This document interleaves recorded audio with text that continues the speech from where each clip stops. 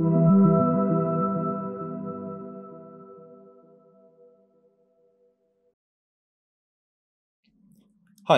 my name is Hamish Peebles. I'm a software engineer, and since the beginning of the year, I have been building OpenChat alongside Matt.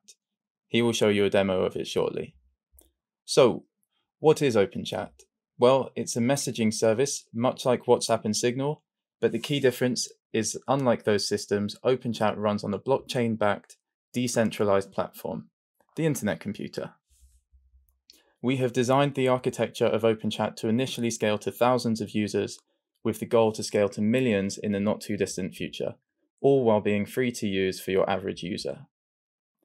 Never before has it been possible to build such a scalable system on the blockchain, while in turn being so cheap to run that we are able to offer it for free. Although this won't be the case initially, OpenChat will eventually become what is called an open internet service. This means there is no backing company tracking and selling your data, Instead, the service is owned and managed by the holders of the service's governance tokens. And in our case, we will be distributing those tokens amongst the users. As an open internet service, all changes must be made via proposals, which are public, and any users who want to take part in the decision making can vote on these proposals, and only those proposals which gain enough support will be adopted. Also, once we are ready to convert OpenChat into an open internet service, we will make the code public and it will be open to contributions from anyone who wants to get involved. And we will reward those who contribute by giving them additional governance tokens. These factors are why we settled on the name OpenChat. Nothing happens behind closed doors. Everything happens out in the open and everyone is welcome to get involved. And for those who just want to use it as a normal chat app, that's fine too.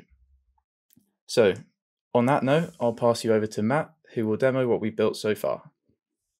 Hi, my name is Matt Grogan, and I'm a software engineer and a professional community member of DFINITY, And I'm going to show you OpenChat. Okay, on with the demo.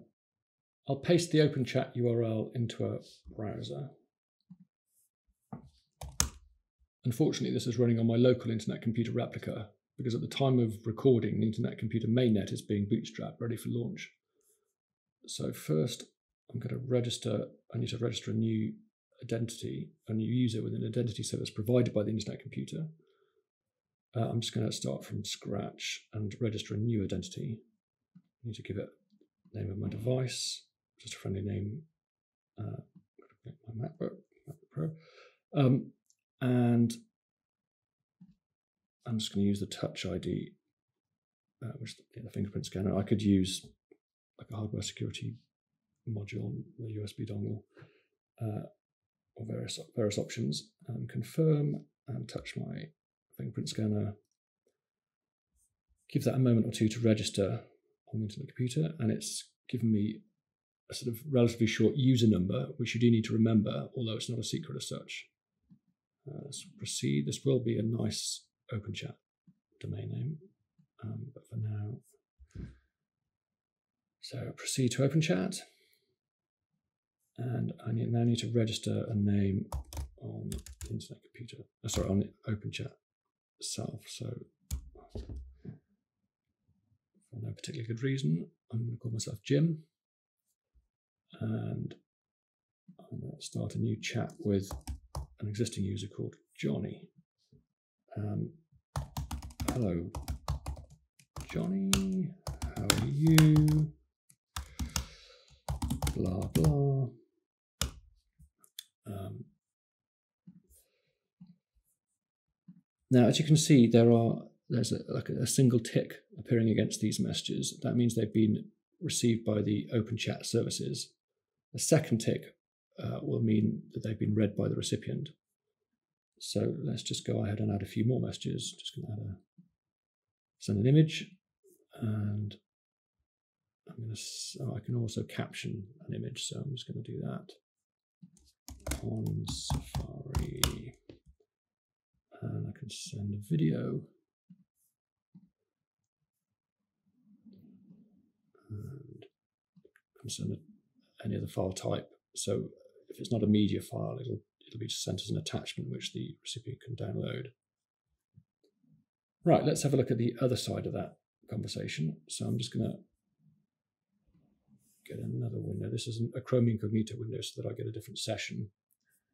And this time I'm going to use an existing user and use Touch ID, proceed to open chat. Give that a moment. Okay, so you can see, let's make this a little bit bigger. So um, looking back here, you can see these two messages have been marked as being read by the recipient. If I actually go further back, you can see these ones further back still have only got one tick because they've not been read by Johnny yet. So as I scroll back, you can see the unread count decreasing. Just need to spend a couple of seconds reading the message. Um, now, as I type a message, you can see that it instantly appears on the recipient screen. And just swap them around and vice versa. Whoops. Managed to completely hide that now. Sorry about that. So as you yeah, sorry, as you can see, messages are being received instantly and also typing notifications. So as I as I type, you can see that on the on Johnny's screen, you can you can see that Jim's typing, and yeah, vice versa. As Johnny types, you can see Jim's screen. It says that Johnny's typing. So these typing notifications and the and the and the messages are being sent using a technology called WebRTC, um, which is allows you to have a to create a peer-to-peer connection between the browsers. Um, now these are these connections are brokered using the OpenChat service running on um, you know, running on Internet Computer. Um, all messages incidentally go via the OpenChat services, but they also go via WebRTC if that's available. Um, so I thought yeah, if both users are online. Um, so let's have a look at something else. Um, if I go to a previous chat. As you can see, the scroll bar is, you know, takes up about a third of the, there are a certain number of messages that have been loaded. As I scroll up, you can see that more messages are being loaded dynamically. It's infinite scroll. Um,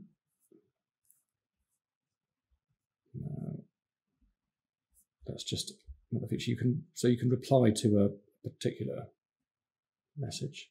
This is pretty standard chat functionality, so I can, if I just reply to that, um,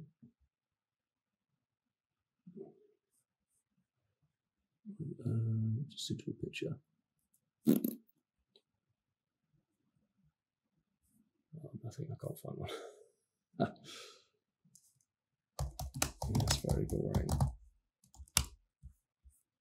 So if I now click on that, it'll take you back to the, you know, the actual message you're replying to. Um, now, so let's bring a third window into play. Well, first of all, I'm just going to create a new um, a new group. And so show group chat poker.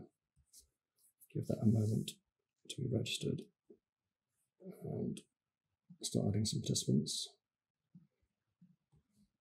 Alice and Jim, Bob. Oops. Okay, and now if I start there, we can see that in the poker group, I've received that message. Let me just uh, quickly sign in on a third window. This is Bob, hopefully it's Bob. Proceed.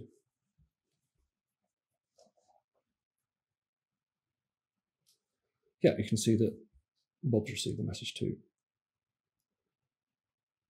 Um, so what's Johnny going to say next? Anyone for Poke Friday night? Um, so Jim, for some reason, is being coy about this because it's going to reply privately. So typically, if you reply, it's the whole, you know, anybody can see it, but you can reply privately. No, I can't make it. Again, a standard chat feature, um, but this will appear in in Johnny's, um, you know, in a, in a in a direct chat with Johnny rather than the group chat.